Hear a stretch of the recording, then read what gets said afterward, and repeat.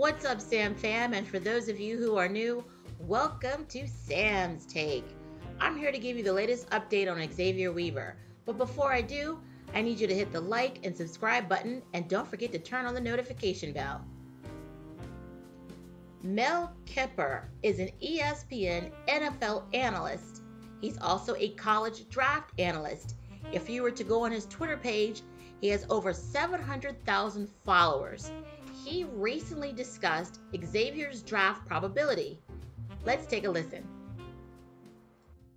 Receiver yeah. Oh, out of Colorado. Okay. Yep comes to Colorado from where South Florida, where he right, put up yeah. really good numbers at South Florida. Love what he did. When I watched this kid, you talk about a guy, productive player, week in and week out was 180, 170 on 180 in that area. He was 169 at the combine. He just put a yeah, little weight on. You talked about that, but I love. How about Xavier's? Xavier Worthy, Xavier Legette, Xavier yeah, Weaver. Got fly, Xavier's huh? are wild this year, right? Okay, but this kid, I thought Florida game in 2022, he had eight catches. Florida game in 2021, two for 68. That when he was when he was with South Florida. So I did it against the Gators when he was with South Florida.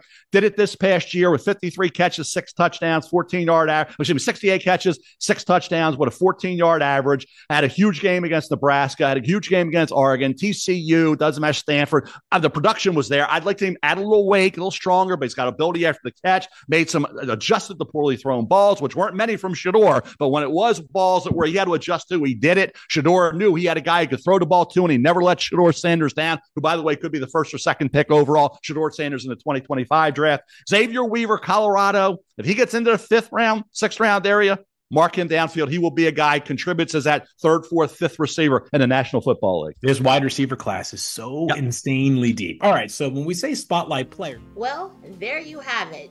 He's predicting Xavier to be drafted in the fifth or sixth round, which is right where my draft prediction was. So I'm not too far off. I've been following Xavier's journey and will continue to give you updates. Well, that's all for now. Again, do me a favor and like and subscribe and tell me what you think below in the comment section. Thanks for listening.